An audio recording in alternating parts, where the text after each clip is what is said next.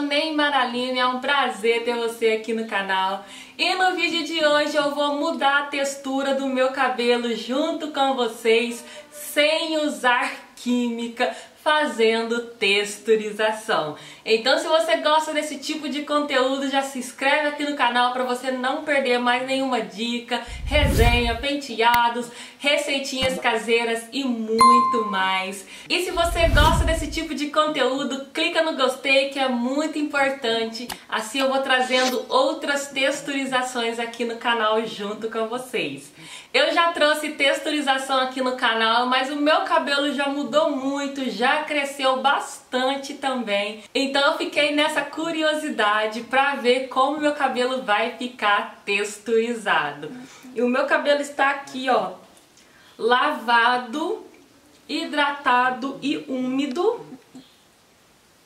Para fazer a texturização, você vai precisar de um creme de pentear, gelatina, geleia ou gel que você mais gosta e que dá um resultado maravilhoso no seu cabelo. Você vai precisar também de um olhinho vegetal, óleo de coco, azeite de oliva extra virgem, o que você tem em casa. Sendo vegetal, você pode utilizar. E borrifador com água, se caso você precisar umedecer o cabelo. E uma xuxinha, um prendedor, para você ir separando as mechas do seu cabelo. A texturização capilar tem um segredo.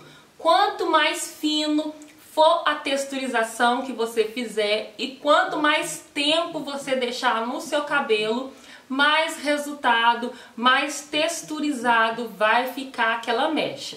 Então eu vou fazer mechas mais ou menos ó, desse tamanho aqui. Primeiramente eu vou vir com o óleo Vou aplicar em toda a mecha. Não precisa ser com o cabelo encharcado de água, tá, gente? Só úmido, porque tem esse segredo também. Quanto mais úmido, mais demorado para secar, mais demorado para ter o resultado. Então, ó, aplica o creme, gel, gelatina ou geleia que você escolheu. Enluva bastante a mecha. Não falei, você vai precisar de um pente também para desembaraçar. É muito importante estar desembaraçado. E agora você vem fazendo a texturização. Acho que eu vou aplicar mais um pouquinho de creme que eu tô sentindo que ele está precisando. Veio com o pente novamente para ter certeza. Agora divido em dois e faço o twist.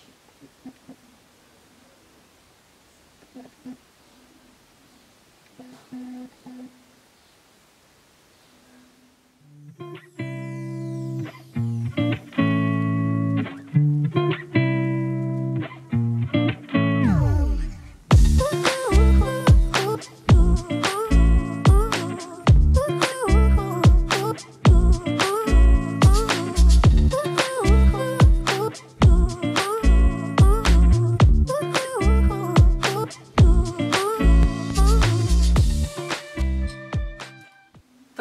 já fiz as duas mechas de baixo.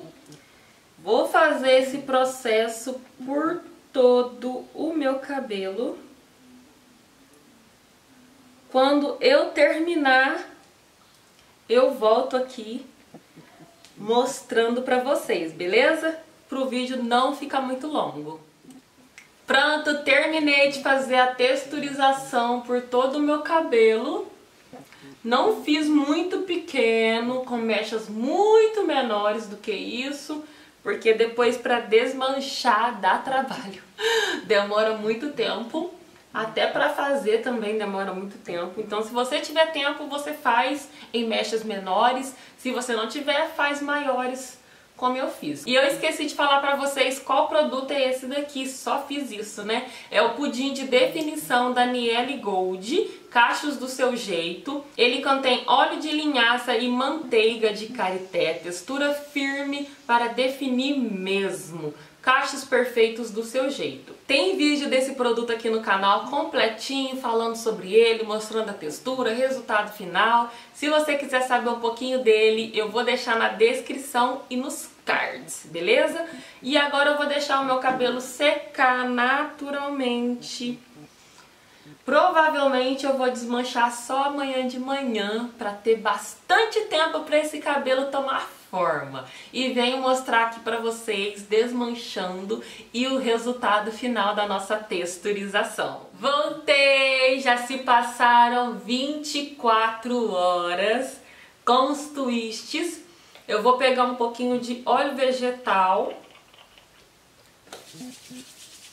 Vou aquecer. Ó, e vou aplicar aqui, ó, por cima. Vou soltar aqui com a suchinha. Ó. Vou aplicar. Agora eu vou vir desmanchando. É muito importante você estar com a mão com um pouquinho de óleo. Vou olhar pra baixo porque eu tô olhando pro espelho. E vou, ó, cuidadosamente desfazendo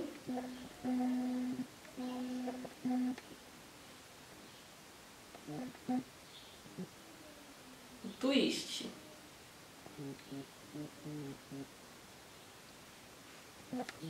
Desfiz o primeiro, agora vou pro segundo.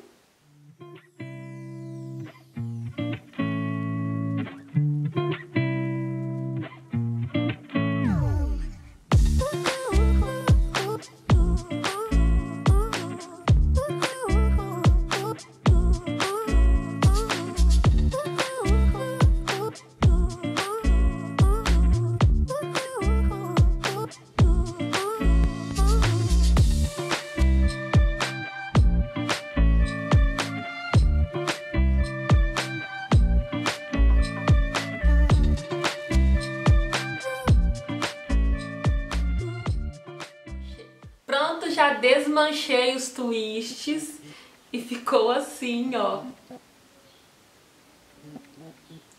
Agora eu tenho que ir desmanchando pra dar volume.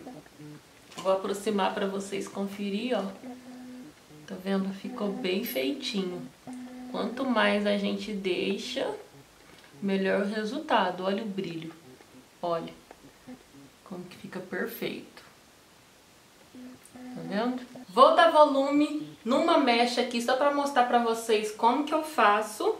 Depois eu vou fazer com calma lá no espelho maior e venho com o resultado final. Vou separar em mechas menores.